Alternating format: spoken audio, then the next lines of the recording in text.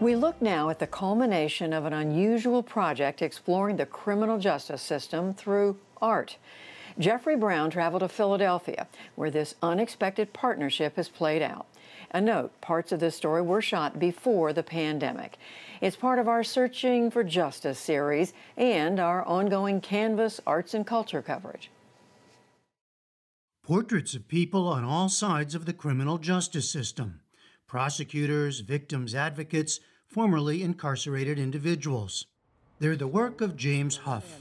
Does it still feel unusual to just be taking a walk like this? Yes, it does. It does? Yes, it does. Actually, uh, to be out here today and to be walking in the sunshine is an amazing experience. It's, it's almost surreal. In 1993, yeah. Huff, then just 17, was convicted of murder and sentenced to life without the possibility of uh, parole. In 2012, the Supreme Court ruled such terms unconstitutional for juvenile offenders. Huff was resentenced and last year, after 27 years in prison, released. In January, along the city's rail park, he showed us a large mural he'd helped design and create while in prison, a work he never thought he'd see in the outside world. When we began to work on projects like these, they changed our lives. You know, they, they showed us a different way. It brought me peace, it brought me satisfaction. Art helped change Huff's life and brought him to a very different side of the justice system. Last November, he was named Artist in Residence for the Philadelphia District Attorney's Office. It was a project believed to be the first of its kind, and DA Larry Krasner wasn't sure what to make of it when he originally heard the idea. At first, I was a little confused because it's a new notion. Confused, like, what is that? What does it mean? Like, what is that? I mean, I have heard of the arts, but um, this is also a prosecutor's office, so it seemed like an, an interesting notion. The more I thought about it, though, and the more I spoke to people about it, it seemed like a really good idea. Krasner is no stranger to controversial ideas and approaches. A lifelong defense attorney and activist for criminal justice reform, he was elected in 2017 as the city's top prosecutor, vowing to change a system he sees as wasteful of human lives and public resources.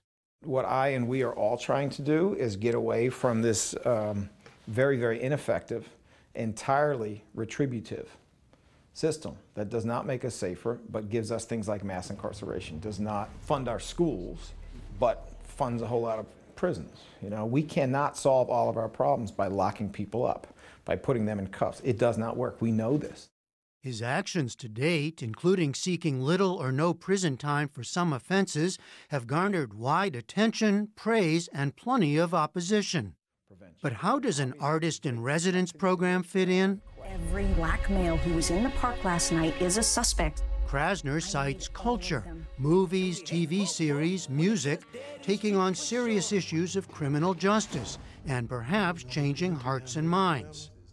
And he sees the Arts Project as a new way to reach the public. You said you wanted a lot of data. Yes. Has anybody shown you the data lab downstairs yet? Not yet. He's quick to insist there is no public funding involved. The money comes from an outside foundation. And he vetted James Huff, his crime, his experience in prison, and of course, his artwork. This is not propaganda. There's not necessarily an obvious message, something, something that tells you what to do.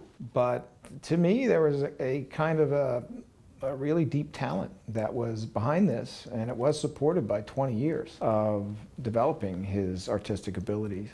James Huff began drawing and painting as a child, but it was in prison that he became a serious artist, part of turning his life around.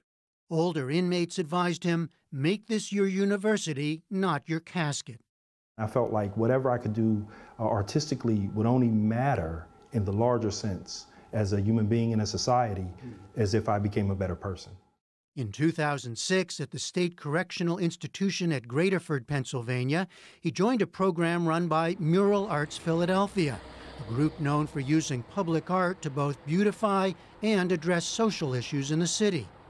Huff and other inmates created works on fabric that were later transferred to walls around Philadelphia, like the one by the rail park, which involved help from prominent artist Shepard Fairey. It's called The Stamp of Incarceration. Jane Golden is the founder of Mural Arts. There's something about redemption. And I think that art has a transcendent power, and somehow It's lifted something for so many of our stakeholders. James will now become a contributing member of our society. This year, Huff spoke directly to many in and around the criminal justice system, some virtually, and used those interviews in creating the portraits. I asked what message he wanted to get across. Individuals who commit acts that destroy the public trust, that, that harm other individuals, uh, there's a social price that must be paid for that. However, there's also a redemptive quality to human beings that we can never forget exists. And if we foreclose on that, we foreclose on our society. Several of Huff's portraits will be on display at the DA's office and other sites around the city through the end of October. For the PBS NewsHour, I'm Jeffrey Brown in Philadelphia. So important to be reminded of that. Thank you, Jeffrey.